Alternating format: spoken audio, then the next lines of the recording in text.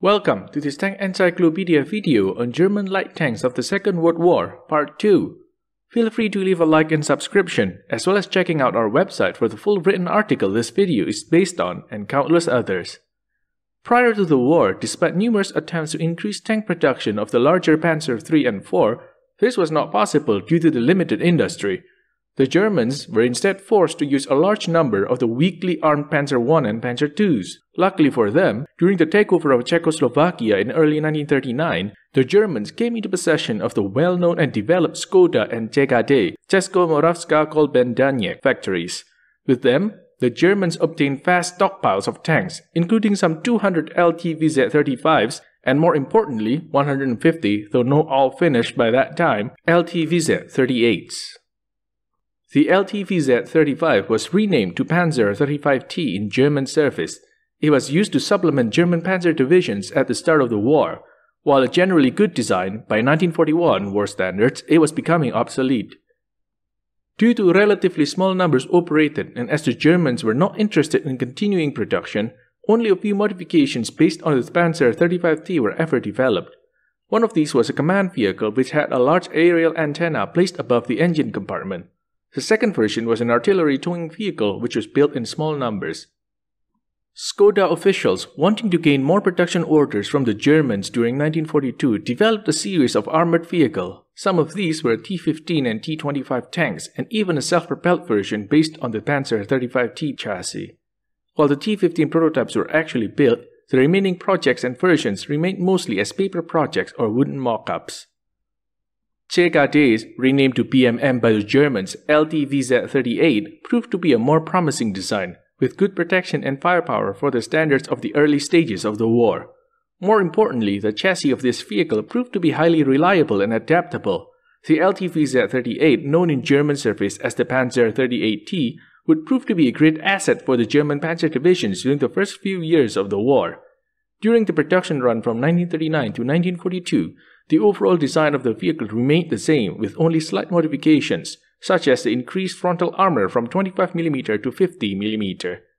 In the role of frontline tank, the Panzer 38T would remain in use until the end of 1941. While its usage did not end there and a number of them would remain in use for longer, its armament by that time was clearly outdated. The Panzer 38T chassis, on the other hand, would be reused for a number of different modifications up to the war's end. One of the most common vehicles based on the Panzer 38T was the Marder 3 series. Its overall design was mostly just copied from the previous Marder 2 series, having a weakly protected superstructure and an anti-tank gun placed in it. These include the Panzerjäger 38T for 7.62 cm Pak 36 and 7.5 cm Pak 40-3 of Panzerkampfwagen 38T aus Ha. The last of the Marder 3 series was the Panzerjäger 38T mid 7.5cm Pak 40-3 aus M, which was more elaborately designed than the previous versions. This version was also the most produced, with just less than 1,000 vehicles being built from 1943 to 1944. On the Panzer 38T chassis, the German developed an anti-aircraft vehicle armed with a single 2cm Flak 38 placed in a rear position firing compartment, known simply as the Flak Panzer 38T. While air targets could be engaged at high angle, firing at ground targets meant that the upper armored parts of the combat compartment had to be lowered. The Panzer 38T chassis was also adopted for the role of self-propelled artillery. There were two versions of this modification armed with the same 15cm SIG 33 heavy infantry gun. First was the Geschützwagen 38 for SIG 33-1, he had a very basic design, with the turret and most of the upper superstructure removed and replaced with a forward-mounted gun and a new open-top superstructure. The second version was the Geschützwagen 38 for SIG 33-2 aus Ka. This vehicle received more serious modifications by placing the gun in a rear position fighting compartment while the engine was moved to the center. Based on it, the Germans developed a simple ammunition supply vehicle, Munitionspanzer 38T aus Ka, that had its gun removed and replaced with a simple metal plate. Despite their attempts, the Germans never really made a successful tank-based reconnaissance vehicle. To somewhat resolve these issues, a modified Panzer 38T chassis was to be reused for such a project. The Aufklärung Panzerwagen 38 was constructed using a slightly modified superstructure and a 2cm arm turret taken from German armored cars. Only some 70 vehicles were built. two more vehicles were built armed with 7.5cm guns. In the later stages of the war, the German production of tanks was struggling against the ever increasing losses and superiority of Allied armored numbers. One solution was a relatively cheap but well designed anti tank vehicle. In late 1943, BMM proceeded to design and build a light and relatively cheap tank destroyer vehicle based on some components from the Panzer 38T. The result of this work would be the Jagdpanzer 38T tank destroyer.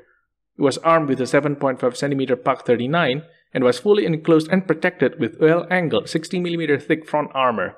While not a perfect design, it would prove to be an effective anti-tank killer, and during the war, around 2,827 such vehicles were built by BMM and Skoda. Based on the Jagdpanzer 38T, a so-called Starr sub-version was developed using a rigid gun mount, but the whole project development was slow and only 14 vehicles were built by 1945.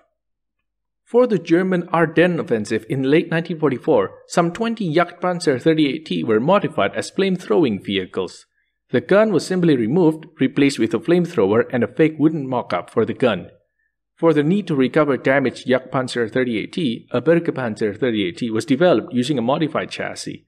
The gun and the upper top of the superstructure were removed, and additional equipment such as a pivoting spade, crane, and others were added to it. By the time production stopped in April 1945, some 181 such vehicles had been built. A self-propelled artillery version based on the Bergepanzer 38T armed with a 15cm SIG 33 was developed at the war's end. While it is often noted that around 30 or so vehicles were built, in reality it is not clear if this is true. There are only a few existing photographs showing what appears to be a prototype vehicle. Some Bergepanzer 38T were armed with various anti-aircraft guns such as a 2cm Flak 38 or what appears to be a 3cm Flak 103 38. The effectiveness of these vehicles would be dubious at best due to limited interior space. During 1942, BMM produced a small quantity of the Panzer 38T Neue Art. It was intended to replace the Panzer 38T and to be used as a reconnaissance tank. This project was not accepted and it did not enter production.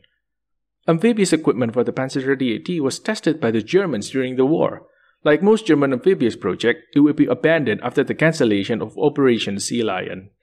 During early March 1942, Adolf Hitler gave instruction that a Panzer 38T chassis was to be modified and equipped with the newly developed 7.5cm Sturmkanone. This was a version of the German 7.5cm Pak gun modified to be used on Sturmgeschütz vehicle.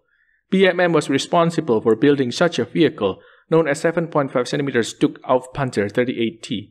One prototype was built and tested, but no production orders were given for it. The Panzer 38T chassis was to be used for a series of so-called Waffenträgers, or gun carriers. These were mostly lightly armored, cheap and armed with various weapons, ranging from anti-tank and artillery guns to mortars. This only reached the early development phase with few vehicles being built. The eight-wheel armored car concept was tested by the Germans back in the late 1920s. One such vehicle was developed by Daimler-Benz, the Mannschaft-Transportwagen 1, which was tested at the end of the 1930s. While its performance was deemed satisfactory due to a lack of funds, it was not adopted for service, but the experience gained would prove to be vital for later designs. Work on eight-wheel armored car was resurrected in 1934. This would lead to the development of the 8-wheel SD KFZ 231 armored car series. Thanks to their 8-wheel drive, this armored car had an excellent all-round driving performance. Armor was light but angled, providing additional protection. While the armament was the same as on the previous version, consisting of a 2cm cannon and a machine gun, the SD KFZ 232 was a long-distance radio variant with a large frame antenna placed on top of it. In the later stages of the war, the 2cm cannon armaments proved to be too weak against enemy armor, so a modified version of the SD KFZ 231 and 232 was introduced at the end of 1942. This was armed with a short 7.5cm L24 gun placed in a fixed position in an open top compartment.